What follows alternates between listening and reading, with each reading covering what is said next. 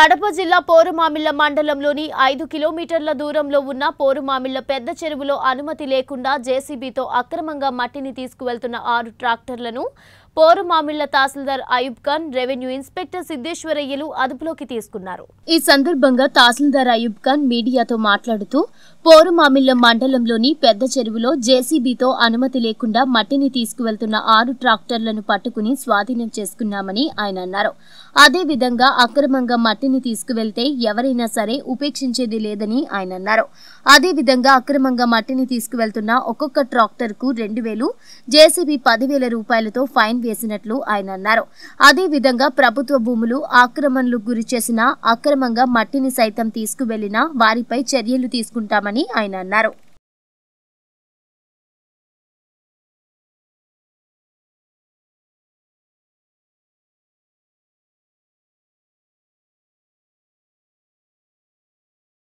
మండలం గ్రామంలో నిన్నటి దినం అంటే ఎలాంటి పర్మిషన్ అనుమతులు లేకుండా కొంతమంది ట్రాక్టర్లతో ప్రభుత్వ భూముల్లో మట్టిని కావచ్చున్నారు అండ్ ఆరు ట్రాక్టర్లు ఒక జేసీబీని స్వాధీనం చేసుకోవడం జరిగింది.